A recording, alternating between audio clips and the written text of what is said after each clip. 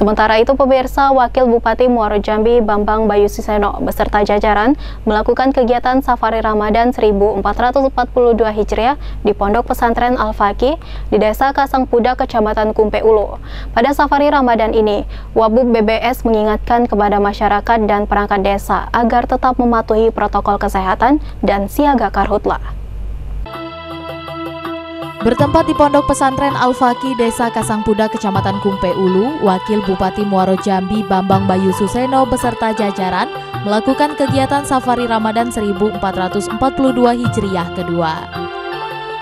Safari Ramadan ini dihadiri oleh OPD, Basnas Muaro Jambi, Camat dan Kepala Desa, unsur Muspika, MUI dan para dai, guru madrasah, guru atfal, pegawai syara serta santri dan santriwati disampaikan oleh pimpinan Pondok Al-Faqih Taufik Al-Hadad dalam sambutannya. Sangat berterima kasih kepada pemerintah Kabupaten Muaro Jambi yang telah menyempatkan hadir dan berkunjung melakukan safari Ramadan di Pondok Pesantren Al-Faqih.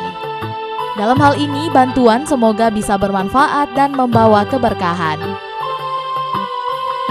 Dalam kesempatan ini, Wakil Bupati Muaro Jambi Bambang Bayu Suseno mengatakan, safari Ramadan kali kedua ini diharap menjadi media sosialisasi penerapan protokol kesehatan guna meminimalisir penyebaran virus corona.